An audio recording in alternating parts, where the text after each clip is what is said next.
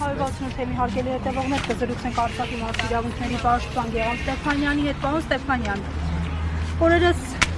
ուշագրավ այսպես հայտարարությունն արեց եւ անհասկանալի Նիկոլ Փաշինյանը պնդելով, որ այն ընկալումները ընդհանուր առմամբ, որոնք կան Արցախահայության շրջանում վերադարձի առնչությամբ վնասում են Հայաստանի պետական շահին։ Ինչ ընկալումների մասին է խոսում Փաշինյանը եւ ինչ վնասների մասին է խոսում։ Ես ենթադրում եմ, որ երբ որ վերադարձի մասին խոսվում է եւ վերադարձի իրավունքը մենք փոխկապակցում ենք ինքնորոշման իրավունքի հետ, հավանաբար դա Փաշինյանի համար Հայաստանի պետական շահի դեմ գնացող արտահայտություն է, բայց դա ընդհանրապես իր անկալումն է սա այդ նույն նույն խոսույթի եւ նույն քաղաքականության շարունակությունն է այդ այսպես կոչված նշաձողի իջեցման, որն էլ ի վերջո հանգեցրեց նրան ինչ որ ունենք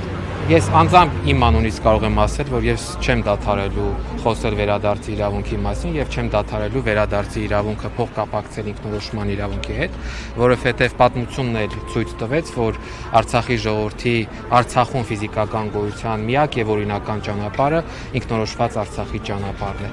Այս պահին առաջնահերթություն որպես այդպեսին հա, հարճակում ենք թեման օրակարգ մտցնելը վերադարձի իրավունքի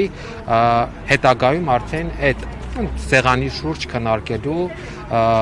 այն բոլոր տարբերակները, այն բոլոր հնարավորությունները, որոնք կարող են ժամանակի ընթացքում առաջանալ։ Բայց ինձ համար ես ուզում եմ նաև ձեզ համար հստակ եւս մեկ անգամ շեշտել, որ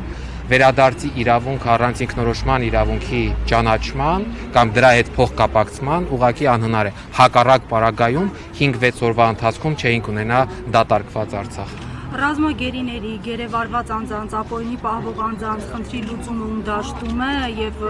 ինչու՞ց այսօր չեն գտնվում լուծումներ, եթե կա նաեւ այդ մասին պայմանագրում կետ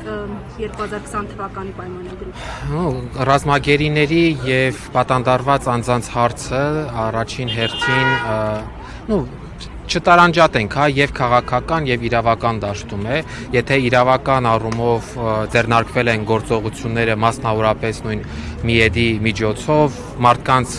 պայմանների առողջական վիճակի մասին բարբերաբար տեղեկություններ ունենալու հարցում, ապա քաղաքական դաշտում խիստ пассивություն կա։ Հիմա ասուլիսի ժամանակ խոսվեց, որ գործողություններ կան, որոնք տեսանելի չեն։ Ամենայն դեպս կարող եմ ասել, որ որքան էլ որ ես շփվում եմ նաև հարազատների հետ, այդ գործողությունները անգամ հարազատները չեն տեսնում։ Այսինքն հույս ունենանք, որ իրապես կան որոշակի գործողություններ ռազմագերիների պատանդարված անձանց օր առաջ ազատ արձակելու եւ հայրենադարձնելու ուղղությամբ բայց եւ միևնույն ժամանակ պահանջատեր լինենք, որ եթե այս ուղությամբ կան աշխատանքներ, ապա հանրությունը եւ նրանց հարազատները դրա մասին պետք է հավուր պատշաճի տեղեկացված լինեն։ Պարոն Ստեփանյան, դուք նշեցիք վերադարձի մասին եւ ասացիք, որ առանց ինքնորոշման իրավունքի դա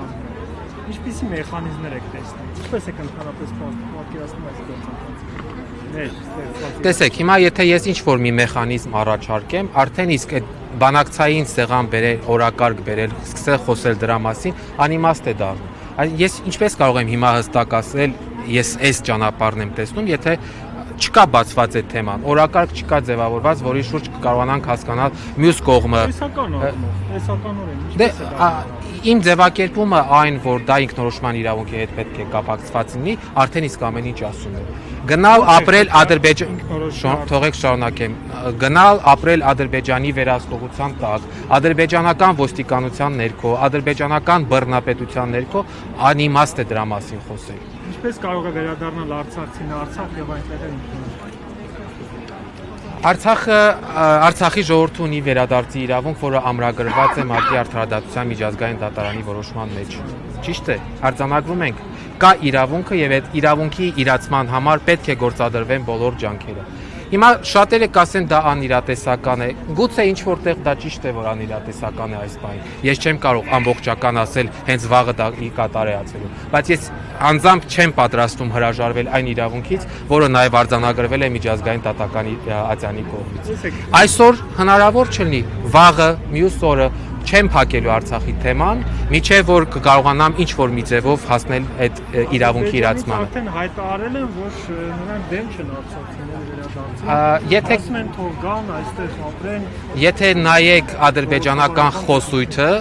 ապա կտեսնեք, որ հատկապես սկսած 24 թվականի հունվարից նրանք անգամ դա էլ չեն ասում։ Եթե նայեք ադրբեջանական խոսույթը, նրանք ընդհանրապես փակել են այդ թեման։ Ու եթե փակած չլինեին, այսօր մեծ տեմպերով Ստեփանակերտի բնակեցում չէին անի։ Ստեփանակերտցիների տները չէին յուրացնի եւ մնացած մնացած բաները։ Այսինքն մենք պետք է հասկանանք, որ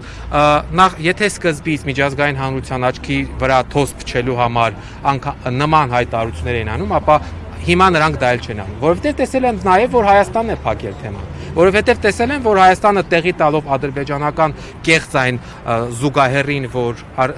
այս վերադարձը պետք է փոխկապակցվել, փոխկապակցել ադրբեջանցիների վերադարձի հետ, տեղի է տալիս, հանում է իր օրակարգից։ Այնինչ նույն Եվրոպական միության ներկայացուցիչ ասում է, որ դրանք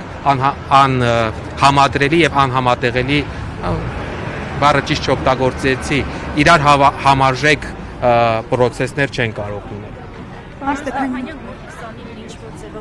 ինչպես է որ հնարավոր է գինների լուծում որևէ տեղաշարժ։ Այո, նու տարբեր մասնագետների հետ քննարկումներում ասում են, որ դա կարող է որոշակի ազդեցություն ունենալ ու վերջում միջազգային մեծ հեղինակություն ունեցող միջոցառում է եւ այդ միջոցառմանը մասնակցել չմասնակցելու կամ այդ միջոցառման ժամանակ Ադրբեջանի հետ տարաբնույթ խոսակցություն ունենալու համար լավ միջազգային հանրության համար լավ ժամանակահատված է։ Մեզ մնում է ուղղակի այդ տարբեր դերակատարներին այնպես անել, որ մեր խոսքը իրենց բերանով հասցնեն տեղ։ Հստակ չեմ կարող ասել, թե կարելի է օգտագործել ամեն դեպքում, բայց մեծ հույսեր չունեմ, որովհետև ես գիտեմ, թե ում հետ գործ ունենք։ Պարոն Ստեփանյան, գրեթե 1 տարի հիմա կլռանը, հա, շուտով որ Արցախի բռնի տեղահանումից հետո հիմնարար հարցերը, հա, խնդիրները, որոնք որոնց հետ բախվում են արցախցիները, եթե հնարավոր է նշել, ինչ խնդիր։ Հարցերը բազմաթիվ են, ինձ թվում է ընդհանրապես մենք առիթներ ունենում ենք դրանց մասին խոսելու եւ այսօրվա օրը երևի այդ հարմար առիթ չի այսօրվա օրը ուրիշ խորհուրդ ունի, բայց եթե առանձնացնեմ բազմաթիվ սոցիալ-կենցաղային խնդիրներից, իրավական կարգավիճակի հետ կապված խնդիրներից միջև ատելության խոսքը։ Արցախի ինքնորոշումից խոսեցիք, գիտեմ, որ գոյություն ունի միջազգային իրավական փաստաթուղթ, որը այս 30 տարիների ընթացքում կարծեմ մեկ անգամ բանակցային գործընթացում օգտագործել է Ռոբերտ Քոչարյանը։ Այդ իրավական փաստաթղթի մասին ինչու չի խոսվում, ինչու բլոկադայի ընթացքում եւ այս ժամանակահատվածում այդ փաստաթուղթը չբացվեց նաեւ հայաստանյան արցախյան իշխանությունը։ Որ փաստաթղթի մասին իրավական փաստաթուղթը միջազգային, որը որ մեկ անգամ Ռոբերտ Քոչարյանն է օգտագործել որը որ նաև միջազգային հարթակներում էլ գոյություն ունի նրանք Ես չգիտեմ ինչի մասին եք խոսում, չեմ կարող մեկնաբանել։ Ինքնորոշման իրավունքի մասին։ Չէ, իրավական փաստաթուղթ նկատի ունեք